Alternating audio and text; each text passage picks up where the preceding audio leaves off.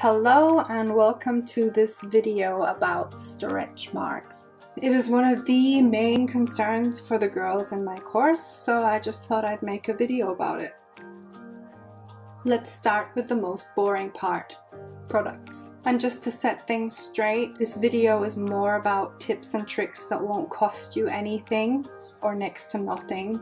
So if you're looking for product advice, expensive product advice, then this video isn't for you. I've been working in the fashion industry for the last 17 years and I've had easy access to expensive cosmetics for a long time and I don't believe in, well some are okay, some are quite good, but mostly it's a waste of money.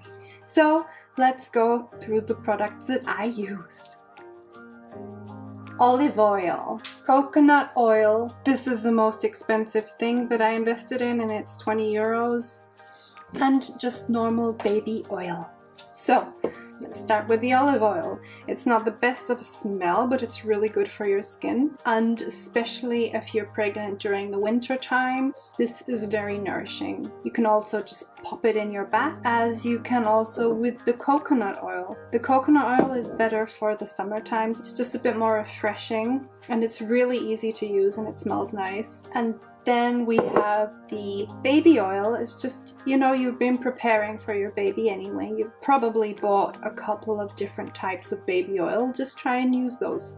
What's good for the baby can only be good for you as well. There's less chemicals, less fragrances, which can also dry the skin out. So just go through what you have and test that out. Like this one has been a lifesaver. It's I found it in my closet. It's about 10 years old. I don't even know if it's still on the market, but it's like a gel. I don't know if you can see. Can you see it? Can you see it? Can you see it? I put it on my belly at night and in the morning I still felt the moisture. So it made me feel really relieved that my belly was having that moisture throughout the whole night.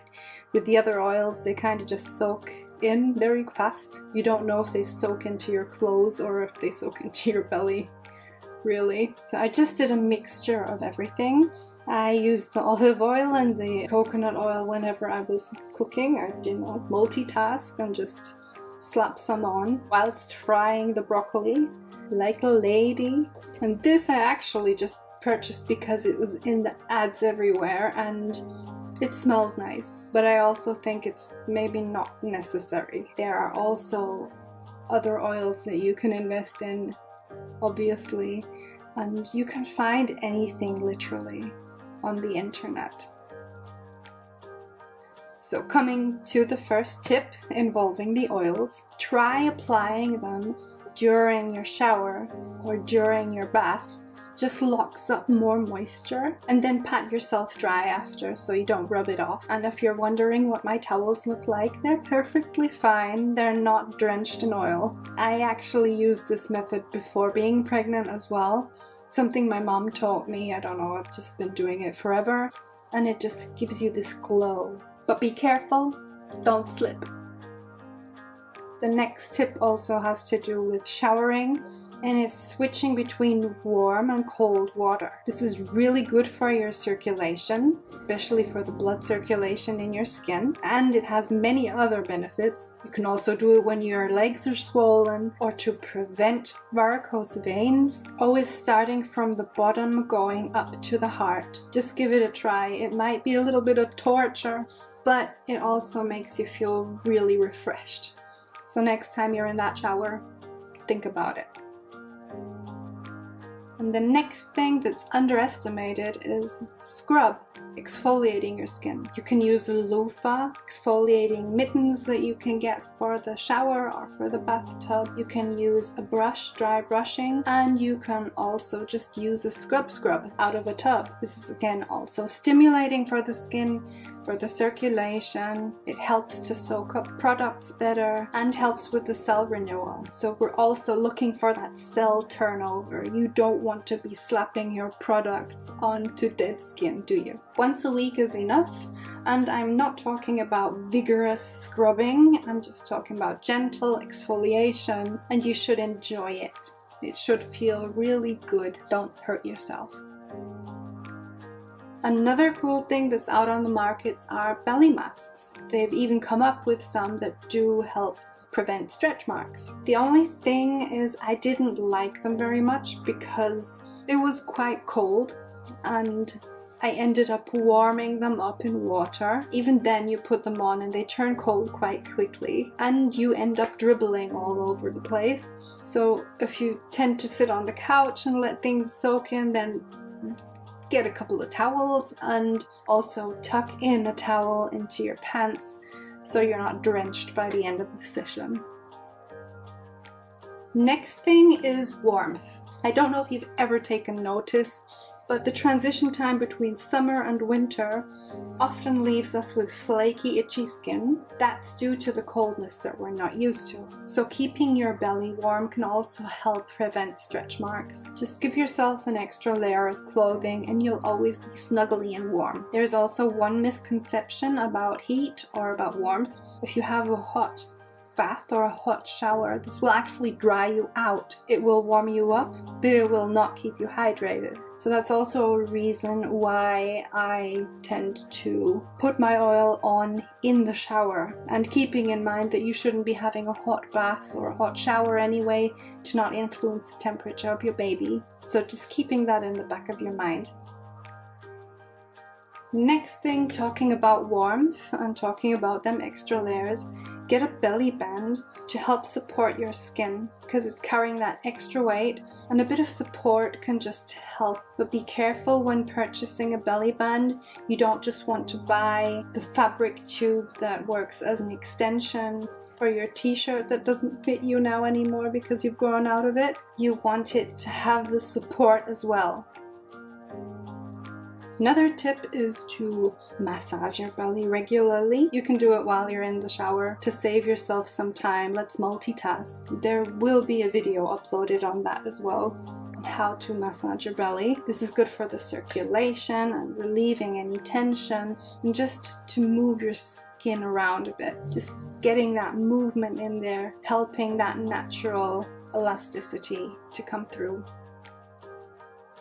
Next tip is nutrition. Now that is kind of a whole topic on its own. Eat healthy. If you want some tips and tricks on how to intake your five a day with ease, there's a separate video on that.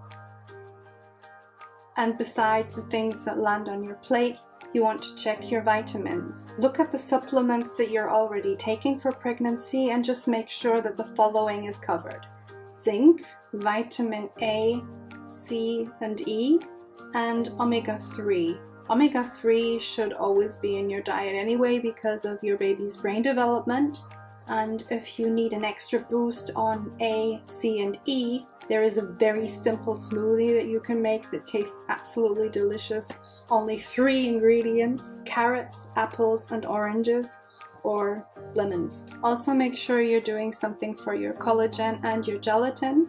There is so many supplements out there today. Just go on Amazon and find what suits you best. I'm just using a collagen powder in my coffee in the mornings. It doesn't taste of anything, it doesn't smell of anything. You can put it in hot drinks, and cold drinks. You can do whatever you want with it really. That's why I chose it. It's linked down below if you're interested. And for the gelatin, you can find it in gummy gummy bears or in bone broth and I would choose the latter because gummy bears can make you feel a bit groggy and mess with your energy levels.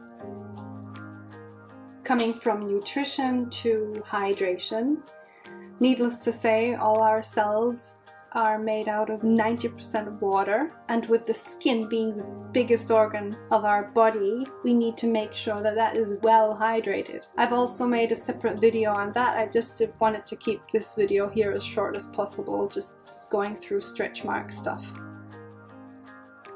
The next big tip is movement. So if you're not pregnant yet, then I really highly recommend you start getting acquainted with yoga, stretching open your front side of your body so that your belly gets used to stretching out a bit And it's just a natural way to train your skin. Even if you're pregnant already, you can train your skin easily. Go to a yoga class. If you're looking for an online course, there's a link down below where you can join me on the prenatal yoga journey, where we cover a bit more than just yoga, all the issues and all the other questions that come up during pregnancy. But back to the main point, Movement is crucial on training your skin naturally to gain elasticity.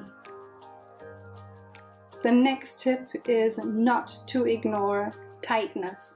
If you feel your skin is tight, it feels a bit, you know, like when you've washed your face first thing in the morning, that type of tightness, then don't ignore it. Here's what you should do Gently exfoliate, gently use a lotion or a fatty cream that will go deep into your skin. Then warmth, just cover it up with your belly band or with any long clothes that can create warmth. And then all you need is patience. It won't go away straight after you've done that, but it will soothe it and you will notice a difference. Just do it a couple of times and just do it regularly just to prevent the tightness from occurring at all. But you you need patience. Remember that.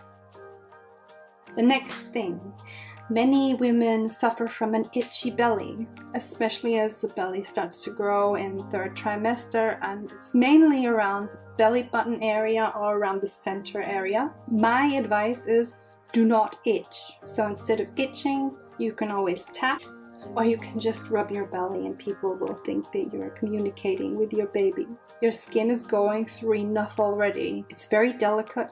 It's very thin at the moment, and then you scratching with your nails will isn't uh, it's not good. And if you're not careful, it can turn into a rash, which can lead to an infection, which will make you have to go to your doctor. You don't want to experiment on these things while you're pregnant. The easiest thing is not to itch. That's where I say don't use on oil.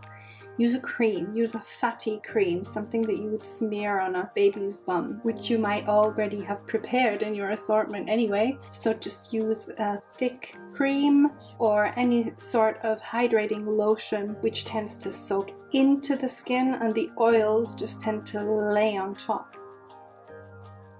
The most crucial phase for stretch marks is actually at the end of the pregnancy. I have four weeks left to go and nothing has happened yet, but four weeks is a long time, so stay tuned, I'll be sharing my results. Yes, only using the coconut oil and the olive oil and the baby oil. And yes, I'm giving you all this advice and I haven't survived my pregnancy without stretch marks yet. But that's also a point that I want to make even if I do get stretch marks, it's not a big deal. All these little flaws that we try to fight against, they're actually part of our life. They're part of the story that our body tells. Luckily, we live in an era where social media has become open to flaws, and a lot of girls and a lot of women are sharing everything, encouraging you to also share instead of hiding yourself. Similar to scars.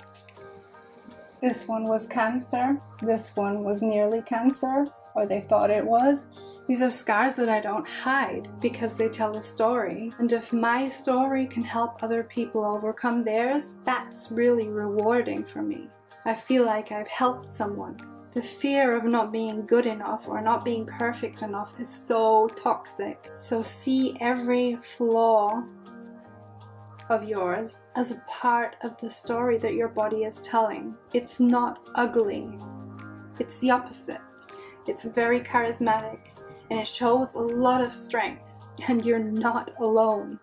Always remember that. Like for me, I got away with it maybe the first time, but this is not the last child that I have planned and I'm sure that I will end up with stretch marks at one point in my life, but it'll be something that I'm proud of. But still, we don't need to make things worse than they are, so if you can prevent, then try. What I haven't talked about is that genes also play an important role, so you might not even be able to avoid stretch marks if it's in your genetics. Everybody is different. What is also very crucial though is the aftercare when you've had your child, the attention that you pay to your skin after. Is also a procedure that needs to be looked at. So stay tuned, I'll be making a video on that definitely. But a lot of women, when they come home from the hospital, they see nothing but the baby and they completely neglect themselves. But you should also take the time to indulge in self care because you're just as important as your child. If you're not taken care of properly, then who's going to take care of the child properly? Stay tuned for more. I hope this helped. Share your experiences in the comments below. Or if I've missed anything that you think is very important needs to be added here, comment down below. Make sure to like this video if you found it helpful. And if you don't want to miss anything, subscribe and hit the notification button. And I will see you next time.